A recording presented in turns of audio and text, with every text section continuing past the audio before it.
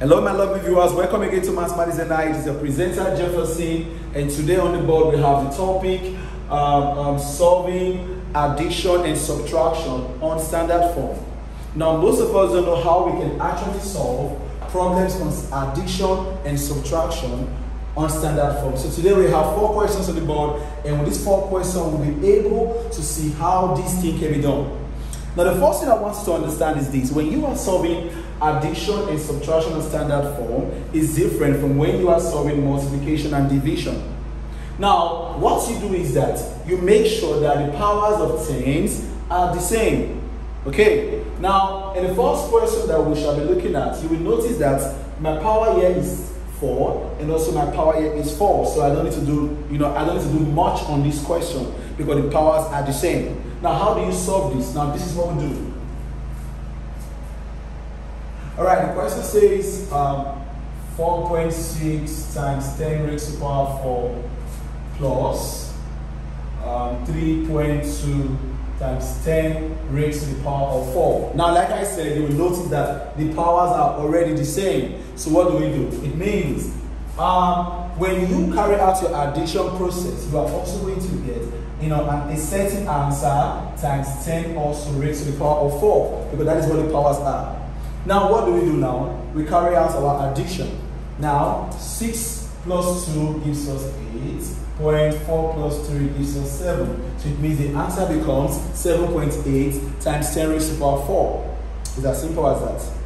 Like I said, make sure the powers are the same. Now, the next question talks about subtraction. Now, number 2 says um, 3.6 times 10 raised to the power of 6 minus 1.2 times 10 raised to the power of 6. Again, you will notice that my power here is 6 and my power here is 6. They are the same. So what do we do? When you solve, you are also going to get an answer like times 10 raised to the power of 6. Now, but we don't know what the answer is, so let us subtract. Now subtracting, we have 6 minus 2 gives us 4, 0.3 minus 1 gives us 2. So the answer becomes 2.4 times 10 raised to the power 6. Okay, but question number 3 now is different. Question number 3 talks about when the powers are different. Now what are we going to do? Okay, without wasting time, let us solve question number 3. Okay, alright, question 3 says, um, 6.45 times 10 raised to the power 5 plus 1.2 times 10 raised to the power 3. Now, mind you, the powers are different. And I told you addition and subtraction can only function when the powers are the same. So what do we do? Now, either we make 3 to become 5 or we make 5 to become 3. Okay? Now, if for instance I want to make 5 to become 3, it simply means I will minus 2 from the power 5.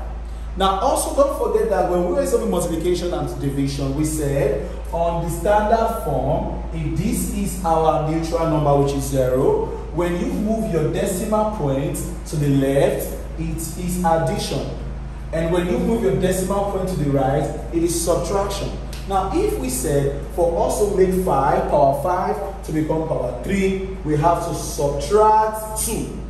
So what does that mean? It means we are going to move our point two times to the right because it is only when you move your point to the right that is when you subtract. Okay, now if we if our point move two times here, it becomes 6, 4, 5 times 10 raised to the power of 3. Because why? The two times that my point move, I have to subtract it from power 5. Okay, now you will now notice that we are no longer using this anymore. We are now using this. So this becomes added to 1.2 times 10 raised to the power 3. Now the powers are the same.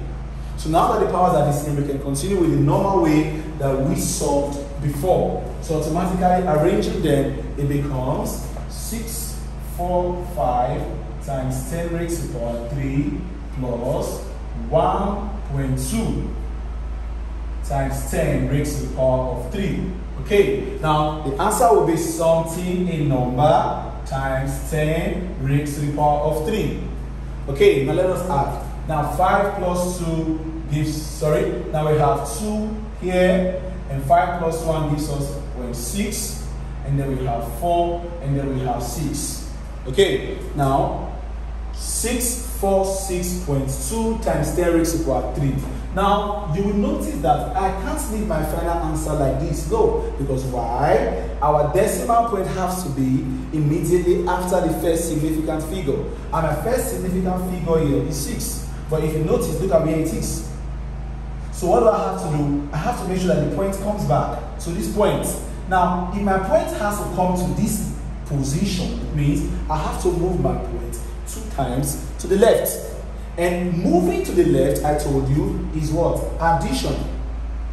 Okay, so if my point moves 1, 2, it means I'm going to add 2 to my power 3. So automatically it becomes 6.462 times 10 raised to the power of 3 plus 2. Now, why did I have plus 2 here? Because my point moved 2 times to the left, which is addition. So the final answer becomes 6.462 times 10 raised to the power of 5. Now, this is what you do when you are solving addition, when the powers are different. Okay, all right. Now, question number two also talks about when the powers are different, but this time we are subtracting. Now, how do we solve this? Question number four. Now, question number four says um, 12.6 times 10 raised to the power of 4 minus 3.8 times 10 raised to the power of 2. Now, the same thing applies here. I'm about to use, I'm about to make power 4 becomes power 2. And how can I do that? I have to subtract 2. And I told you, for you to subtract, it means you are counting to your, to your right.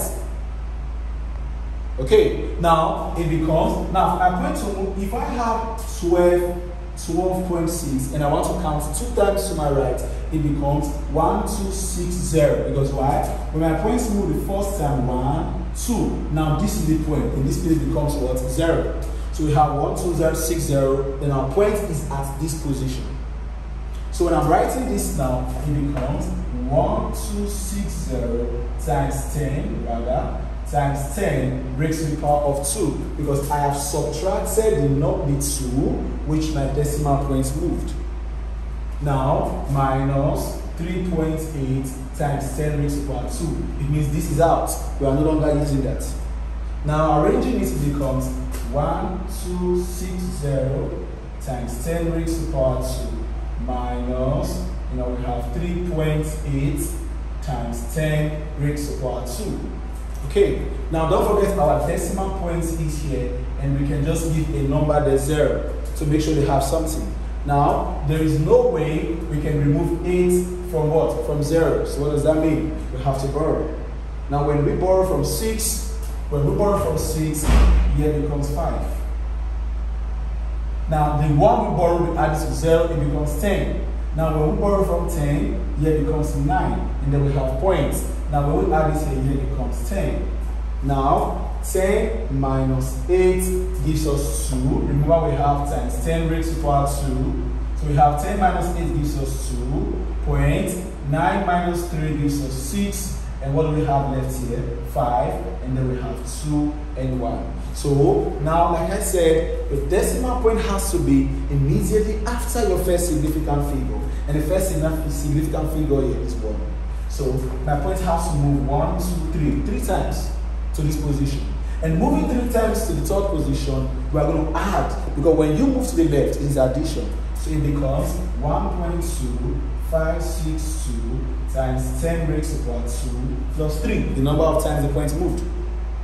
So it becomes 1.2562 times 10 raised to the power of 5. So class, this is how you can carry out operations on solving addition and subtraction on standard form.